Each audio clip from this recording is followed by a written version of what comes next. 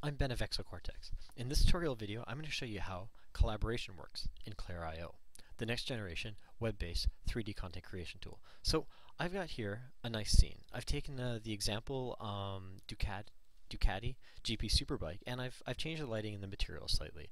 I'd like to share this with my colleagues. So to do that, um, you just come here to File and you click Share. Then in this view, you can add other people by email address, or if you know their username already on Clara.io, you can use those too.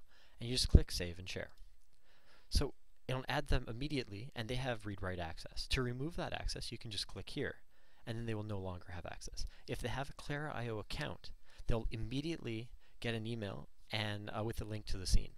If they don't have a Clara.io account, they'll get an email um, notifying them on how they can register for Clara.io. And once they've registered, they'll have access to that um, scene that you've shared. So what happens after you've shared a scene with uh, someone on Clara.io? Well, I'll show you.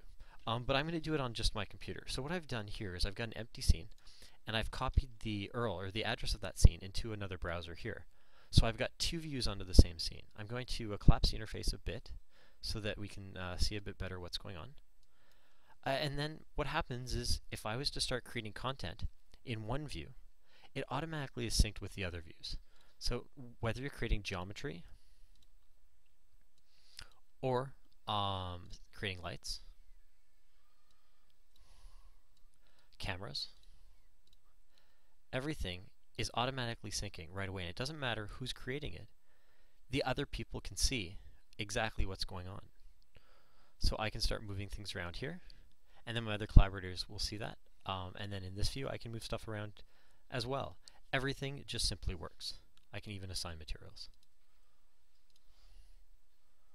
So, uh, and that's possible because Clara.io tracks every change you do and records that.